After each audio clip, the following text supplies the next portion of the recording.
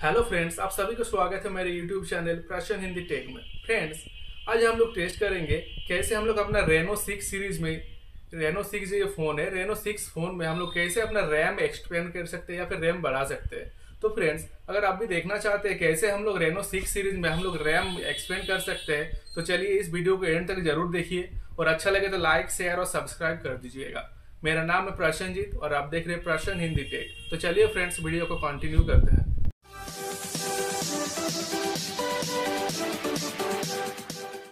तो फ्रेंड्स ये है हम लोग का ओप्पो रेनो सिक्स जो कि हाल फ़िलहाल लॉन्च हुआ है। तो चलिए आज हम लोग देखेंगे कैसे हम लोग इस रेनो सिक्स का रैम बढ़ा सकते हैं। तो चलिए सबसे पहले हम लोग सेटिंग में जाएँगे सेटिंग ओपन करेंगे, उसके बाद नीचे आएँगे, जहाँ पर लिखा होगा अबाउट फ़ोन हम लोग अबाउट फ़ोन में जाएँगे। अबाउट फ़ोन में जाने के बाद सबसे पहले हम लोग देखेंगे इस डिवाइस का स्टोरेज कितना स्पेस खाली है। यहाँ पर देख सकते हैं एक सौ खाली है।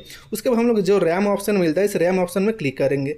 रैम ऑप्शन में क्लिक करने के बाद, अब यहाँ पर देख सकते हैं, यहाँ पर लिखा हुआ है रैम एक्सपेंसन यहाँ पर जो नीचे लिखा हुआ, उसके बाद यहाँ पर नीचे लिखा हुआ है the setting will take effect after you restart your phone तो चलिए, ये जो रैम है, इसमें हम लोग क्लिक करने के बाद हम लोग को फ़ोन को रीस्टार्ट करना होगा। उसके बाद हम लोग का ये जो रैम एक्सपेंशन है, वो काम करेगा। तो देख सकते हैं, यहाँ पर हम लोग को दो जी बी तीन जी बी उसके बाद पाँच जी बी तक हम यहाँ पर रैम बढ़ा सकते हैं। तो चलिए, हम लोग रैम बढ़ाने का जो ऑप्शन था, वो ऑन कर चुके हैं। ऑन करने के बाद नीचे हम लोग को जो लिखा हुआ है the setting will take effect after you restart your phone ये जो सेटिंग है, काम करेगा रीस्टार्ट करने के बाद तो चलिए हम लोग का फ़ोन है, जो फ़ोन है, वो उसको हम लोग को रीस्टार्ट करना होगा। तो चलिए रीस्टार्ट कर लेते हैं। उसके बाद रीस्टार्ट करने के बाद हम लोग देखेंगे, हम लोग का जो स्टोरेज था, एक सौ खाली था।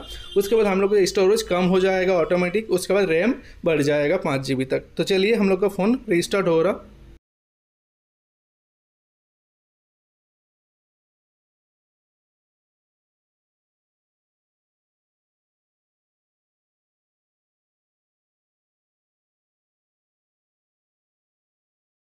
तो देख सकते हैं फ्रेंड्स मेरा बूटिंग कंप्लीट हो चुका है। उसके बाद फ़ोन रीस्टार्ट कंप्लीट हो चुका है।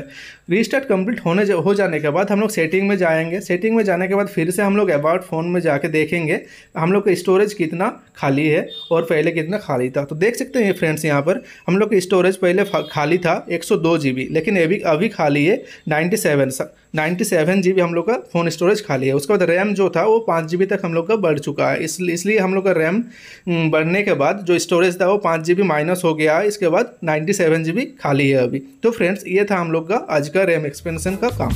तो फ्रेंड्स आज का वीडियो यहीं पर ख़त्म होता है। अगर आपको ये वीडियो अच्छा लगे तो ज़रूर लाइक शेयर और सब्सक्राइब कर दीजिएगा। Thank you